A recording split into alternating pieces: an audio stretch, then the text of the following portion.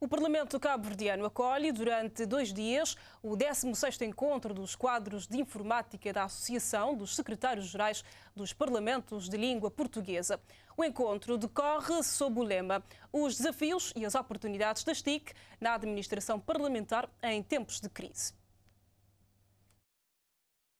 O mundo viveu uma condição atípica de isolamento social por causa da pandemia nos últimos dois anos, que fez com que a nossa rotina fosse modificada e tornou-se evidente o papel das novas tecnologias de informação e comunicação em vários aspectos das nossas vidas. O tema do 16º Encontro de Quadros de Informática da Associação dos Secretários-Gerais da Língua Portuguesa é o mote para a discussão da importância e o papel das TICs em em tempos de crise? Eh, sem sombra de dúvida, com a, com a, com a pandemia, graças às novas tecnologias, os parlamentos não pararam.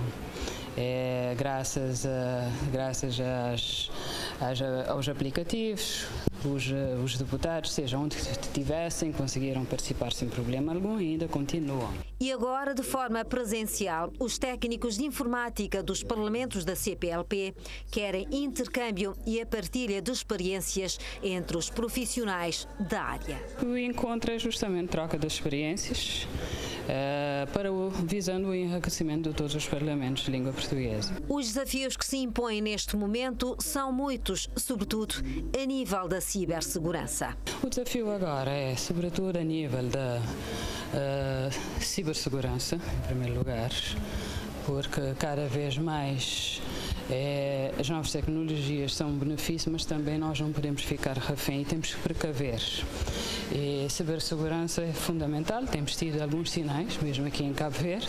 Nós, ainda bem que temos a nossa base de dados uh, privada, e, mas mesmo assim todo cuidado é pouco. Portanto, cibersegurança não só para nós aqui em Cabo Verde, mesmo também para os outros parlamentos também é fundamental. O Parlamento cabo-verdiano depara com alguns constrangimentos em termos da elaboração das atas e precisa de melhorias a nível das transcrições e por isso quer beber da experiência de outros países nesta matéria.